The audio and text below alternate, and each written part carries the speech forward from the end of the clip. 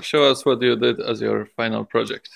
Well, uh, the project uh, has different parts, but now I will just showcase a brief demonstration of how the communication between the ROS node, which controls the, the linear drives, communicates with the PLC and how the PLC reacts to the message received.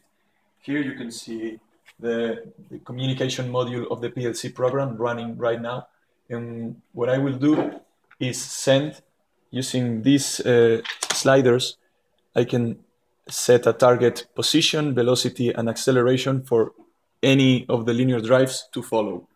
Uh, what this does is uh, take the values set in the in the sliders, uh, pack them into a TCP/IP package, which will be then sent uh, using a Wi-Fi network to the PLC, and the PLC will unpack that that information, store it into the desirable variables, and then send in, send them to the motion control module of the of the PLC, so that the the linear drives will respond to that. Sure. Right now, with the values I currently have, if I run this first uh, button, uh, the, the first uh, rail will move slowly to an intermediate position right now, 1000, just marked right there. So we can see it.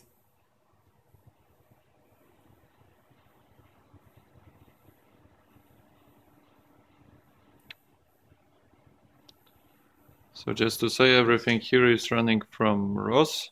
It is. So ROS is there.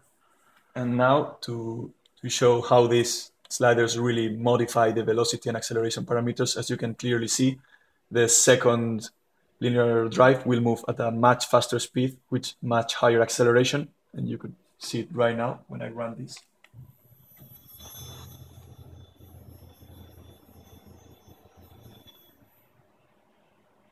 And this is a brief explanation of this particular case, of mm -hmm. how the control module in ROS can communicate to the PLC. Sure. Can it do something else? Yes, it also can, uh, uh, receives in real time uh, the current status of the, the servo motors running running the mm -hmm. linear drives.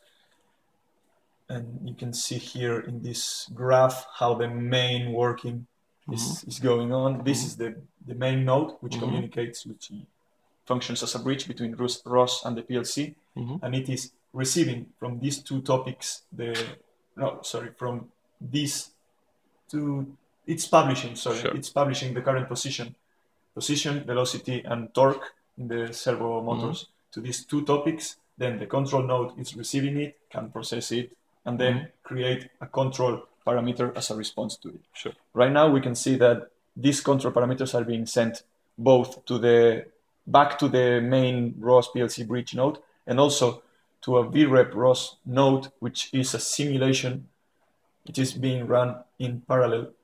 We can see it here. And right now, this is uh, also receiving the same control parameters. So this so is like mirroring the behavior yeah, of the it, actual one, It's right? mirroring it. So mm -hmm. if I now just send another one, we could we could see that they both respond equivalently to a control parameter. Oh, sorry.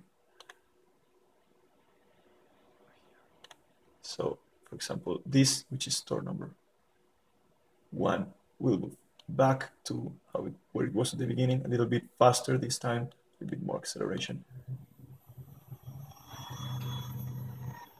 So both the real rail and the simulated one are moving. Yeah, sure. Great work. Thanks. Thank you.